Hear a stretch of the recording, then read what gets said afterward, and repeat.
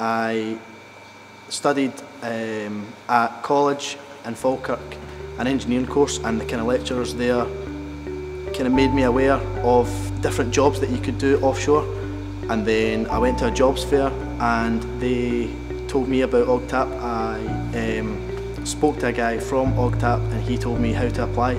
So I went home and applied online and found myself here. My friend's dad, who works offshore, when I asked him what's the best way to get into the industry, he said that uh, a really good way would be to apply for the OGTAP apprenticeship. The thing that got me interested in the oil and gas sector was my dad. My dad's a rope access fabric maintenance supervisor and he has been for about nine years now. And he seems to love what he does on the rigs and I thought if my dad enjoys it then maybe I will. I learned about the scheme through a few of my friends. They'd gotten into it a couple of years before.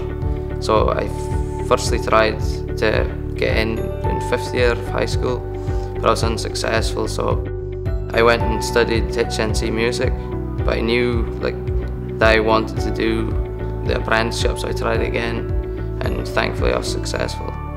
Uh, so my cousin's from Hull, and he did the apprenticeship 10 years ago and he's been a mechanic for six years now. And when I was applying for electrical apprenticeships I sat down with him and started talking about what he was doing. And he was telling me about like how life is like being independent and the college and like the whole change of area. Um, and when we was talking about it, it just really interested me. Like I like the sound of being independent Well, to apply for OGTAP, you've got to have a grade C or above in maths, English and a science. Um, and you need two other grades and that can be in anything else. I got an NC in engineering at college and I've done my maths, English and chemistry. So that's that was the kind of three main subjects that allowed me to come into this course. So I applied on the first day that you could. Um, I got an email to say that I had passed the application process, which was pretty simple. You just had to fill in what your name was, where you were from, all the subjects that you had. Um, and then you get an email and it asks you to do an aptitude test.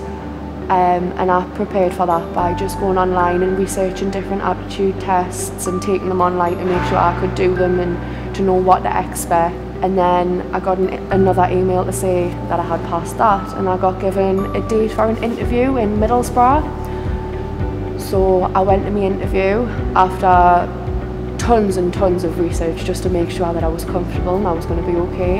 And the interview went quite well.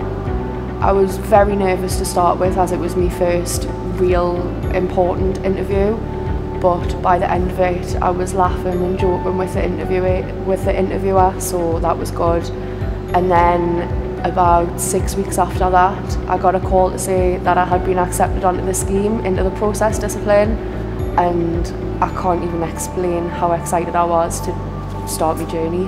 Well, I applied online and then I waited a few weeks and got word back that I had to sit aptitude tests.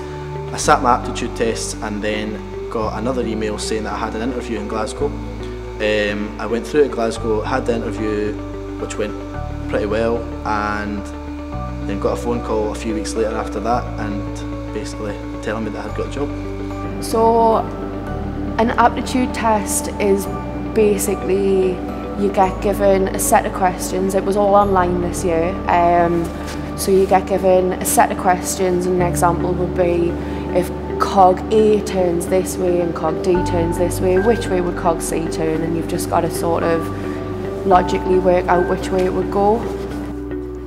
If you're interested in doing the OGTAP apprenticeship, then I would suggest like talking to anyone you know that's gone through it or go on the OGTAP website itself. There's a lot of good information on entry requirements, what they expect from you. There's even the companies that could take you on, like where you could go, you could be onshore or offshore. If you are looking to like become a mechanic or an electrician, it definitely is the best way to like pursue your career.